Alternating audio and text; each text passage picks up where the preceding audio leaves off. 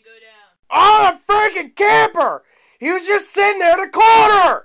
Gotta hate these! I freaking quit!